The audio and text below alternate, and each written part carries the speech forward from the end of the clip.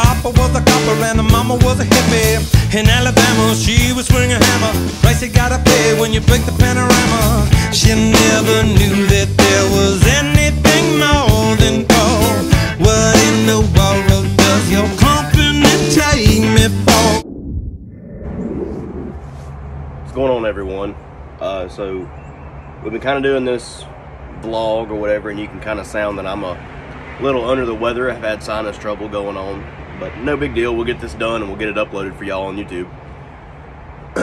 Want to start off by the weekend that we had a race, and it's kind of an exciting weekend. We still had trouble in the 206 class, but it's progressing and it's coming along, and I'm seeing what I need to do to change on my cart and with my driving to improve my better off performance, I guess you would say.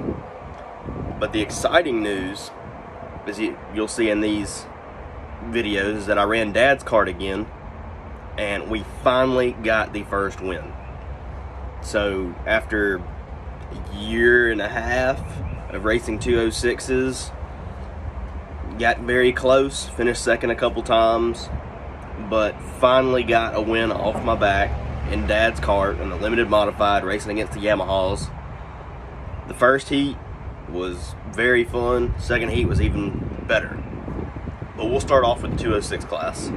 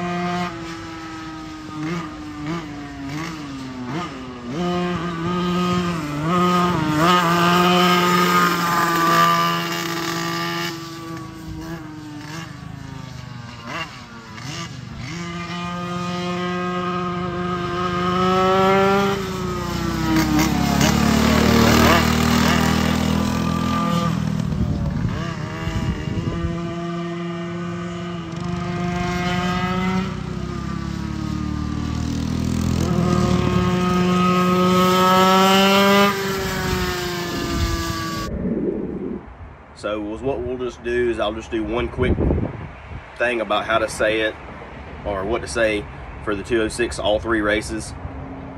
So we drew in the back to start the first race and I believe I passed a couple of carts and still finished towards the back. But uh, I figured out what I was doing wrong after I went back and watched the videos and I, I'm just I'm not running the cart hard enough. I'm letting off the gas too much. I'm not entering the right hander going into the left hander like I should. But it'd all just take time. And as I was talking to my teammate Michael, he said that uh, you know, it's just gonna take time. You know, with experience it'll come with it. So finished still towards the back in the first heat. In the second heat we started up front. I think it was first row outside, so second. And from when they dropped the green flag from when I hit the throttle, I'm just, it's not going. And that's got to do with me. I've got to hit the throttle sooner, no matter if it's a yellow or a green or, or red or whatever the case may be. I've got to get on it sooner to be able to go off and leave and try to keep better positions. So in the second heat, we fell back to fourth. Uh, Bo and Eli and Shannon, Michael's brother, which is another teammate of mine, got up beside me and got uh, past me, and we were being run down by Ricky Williams in the number six car. So I mean, second heat wasn't that bad. Uh, in the third heat, we kind of I had a game plan going into it that I was going to be a whole lot better. I started off great. I had a better start in the last two races, and as the thing, the which I started in the back, but as the first turn came up, somebody spun, got tangled with another cart, and it was just right in my line to go through the turn. So I I spun as well. Two carts got back by me, but I still stayed ahead of two carts. And by the time I got back going and got a rhythm going, they were just really too far ahead to catch within the laps that we had. So it, it's learning. It's a we're getting by. Everything's going, I guess, according to plan as far as experience goes. But they are racing this weekend. They've got a race tomorrow, which is Saturday. Today's Friday, the 21st of uh, May. But I'm actually heading to Jackson to visit some family. So we, we won't be racing this weekend, but hopefully within the next couple weekends we'll be back at it and hopefully we can go with an improvement.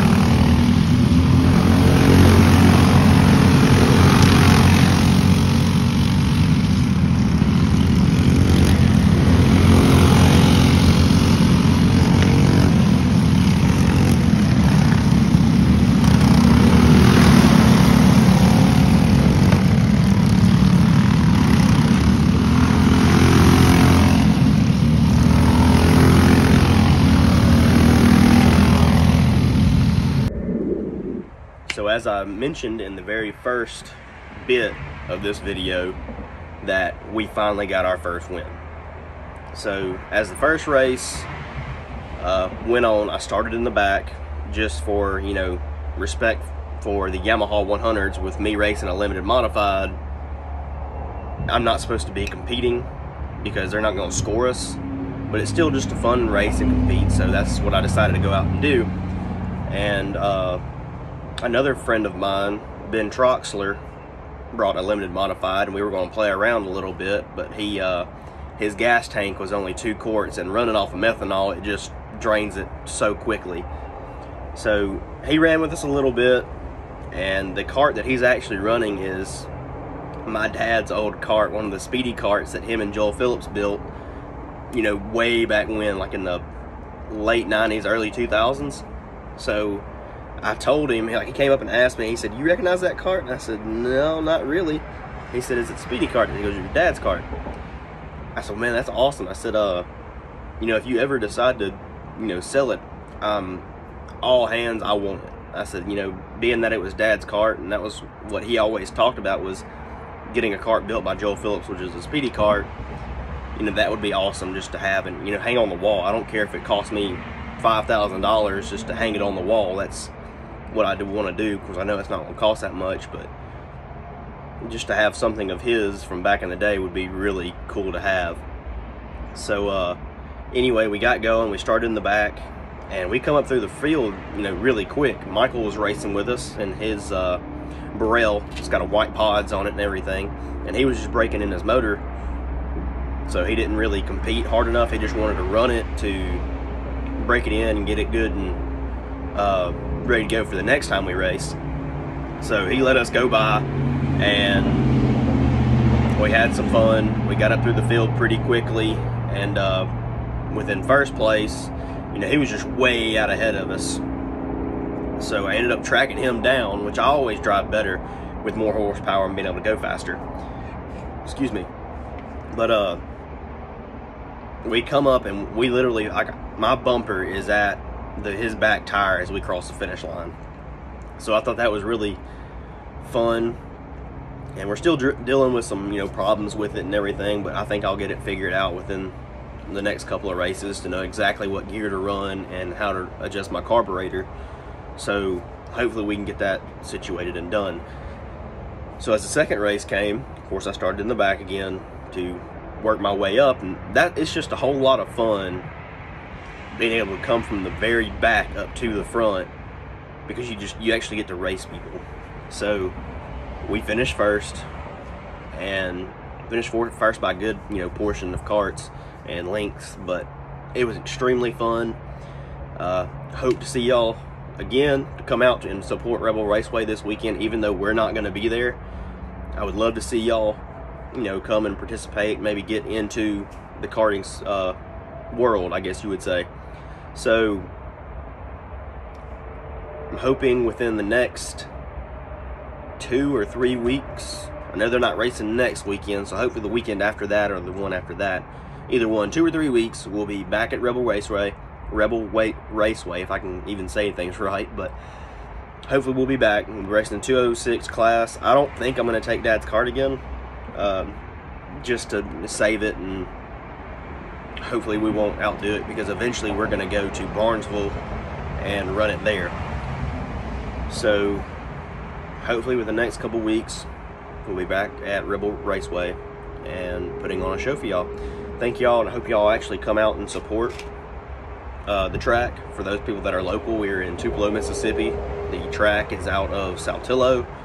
So hopefully y'all can come out and support us and see some fun and exciting racing. Uh, if y'all need to find out where the track is, I'm on Facebook. It's just Reed Williams. Uh, you'll actually see me in a go-kart as my profile picture, but just send me a message, ask for the uh, directions to the track and we'll get them out to you. Thanks, and I hope to see y'all there in a couple of weeks.